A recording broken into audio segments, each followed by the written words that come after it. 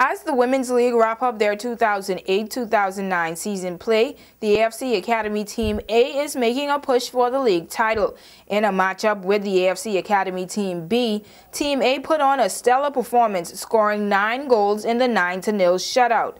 League leading Team A will have to defeat the veterans of the Grace Bay Football Club at least twice in their upcoming late season meetings. Sports 4 caught up with the winners of Team A and the players from Team B who talked about their improvements as a team. Um, for well, the first half we weren't really playing at our best, but second half we picked it up and I guess we got the game, tried to do our best, and so we accomplished. We proved a lot. At the first, first first game we played was Western I think we lose 22 to 0, and as we continue to play, we get stronger from 22 to 7.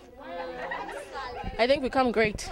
In other sporting news, the Provo PPC cricket competition over the weekend featured two games. The first being played on Saturday between the police and the St. Lucian Hitters. And in this one, it was the St. Lucian Hitters recording yet another victory. The police could only amass a total of 121 runs, all out off of 17.2 overs after struggling to come back from a collapsing performance.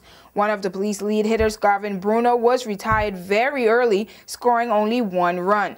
Kareem Jack tried to restore some stability as he slammed six fours in his 27-run haul before he was dismissed. And closing hitter Grantley Williams matched Jack's hitting, scoring a colorful 26 runs in an attempt to muster a win for the police team but it was not enough as the hitters opener Chabli Chowlery and captain Marcus Charmelin secured a well-deserved 35 and 44 runs respectively. Also with double figures was Curtis Flavian with 27 runs to add to the St. Lucian hitters' win.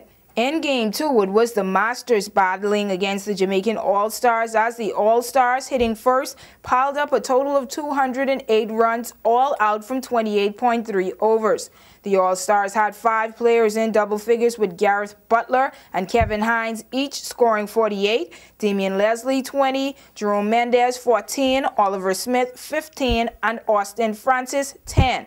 Outstanding bowling performances came from the Masters with Henry Pennant, who capped four wickets for 39 runs off six overs, Hilton Duncan, two for 28 off five overs, and Hubert Hughes, one for 28 off 5.3 overs. The Spence Security sponsored Masters tried to answer but fell short as the Jamaican All-Stars went on to win 208 all out from 28.3 overs. Masters 177 for 9 from 30 overs.